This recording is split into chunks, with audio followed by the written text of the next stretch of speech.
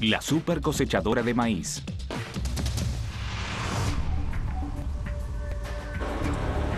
La cosecha de maíz en los Estados Unidos es el evento más impactante de la agricultura. Su magnitud es increíble. Tú no querrás soñar despierto. Los maizales pueden llegar a tener superficies de 800 hectáreas o más, y esa es la superficie de unas 29 ciudades del Vaticano. Pero no se trata únicamente del tamaño. Cada cosecha se traduce en mil millones de dólares y potencialmente en millones de vidas. El desafío, recolectar los más de 27 millones y medio de hectáreas cultivadas con maíz en los Estados Unidos. ¿Cómo lo logran los agricultores?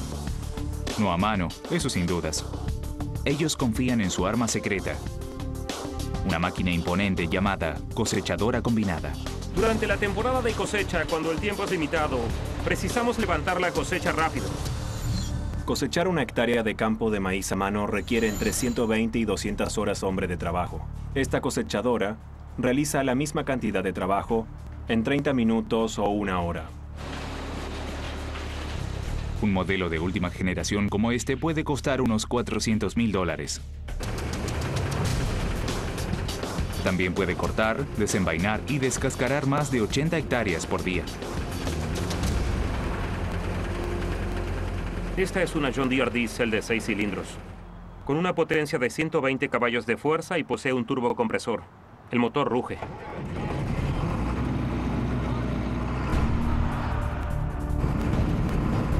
Todas las ganancias de un maizal dependen del desempeño de su cosechadora. A la herramienta capaz de dar el mordisco más grande se la llama cabezal. El maíz ingresa en cuatro líneas a la vez a través del cabezal y las cadenas de recolección lo capturan. Luego las cortadoras separan la mallorca del tallo. Pero la cosechadora no solo corta las mazorcas. Su poderosa maquinaria es capaz de convertir una espiga de maíz en una lluvia de granos dorados en segundos.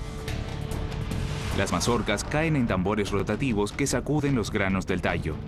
Una barrena levanta los granos resultantes hasta el depósito de alimentación. Cada cargamento vale oro. Con los valores del maíz en su máximo histórico, cada hectárea cosechada puede llegar a valer 2.500 dólares.